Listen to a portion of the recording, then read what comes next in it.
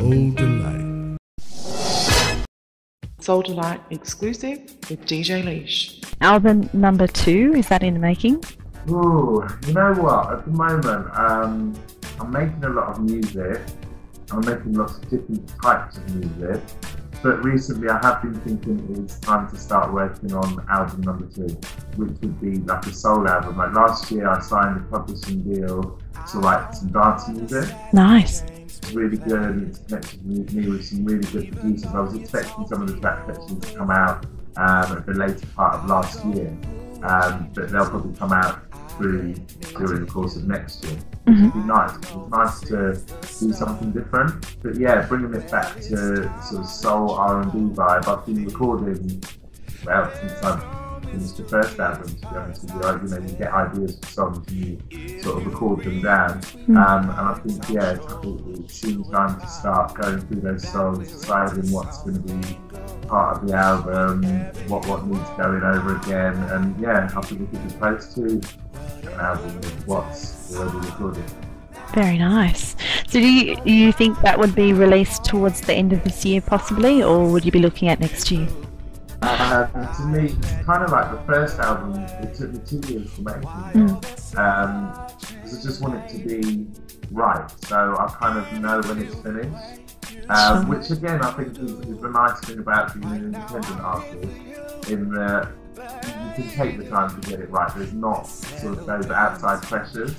But it would be nice if it could be towards the end of this year. Let's show some different sides of me. Like I said, I've been doing a lot of dance music and writing it in that. So I'm sure when I bring it back to the soul, some of that will come into it as well. Mm. So So, when you were signed to do the house music, how did how did that come about? basically, um, I met a producer through a friend of mine, Claire Evans. She's a really good singer over here. She makes funk music at the moment um, with a group called Wonderlush, so make sure you check them out. But before that, Claire used to do a lot of dance music, so she kind of brought me into that world through this producer who ended up being signed with the same publishing company that I signed with. Nice. A nutshell, that's how it happened. Back in the day, you were in a group called Dark Roses. Do you still keep in touch with the other guys from Dark Roses? You know what? I have to admit, I haven't spoken to them for a good, good few months now. Jay, who was another sort of lead singer in the group, yeah, he's a family man, man. Nice. Um, Angelo's still writing music, and Ash, um, the Asian guy from the Mhm. group, he's gone on to sing in Bollywood films. Oh wow! Um, and you've performed with some pretty top UK artists as well. Um, some of the ones that people would know from Australia would be Omar and Alicia Laverne. What was that like doing that?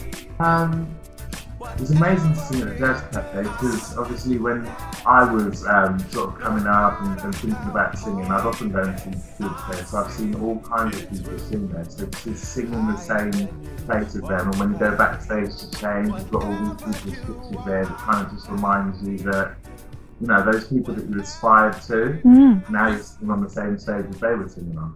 So it's nice on that level, and then to be inspired by someone like Omar, who on a record is amazing, but live is just on the next level again.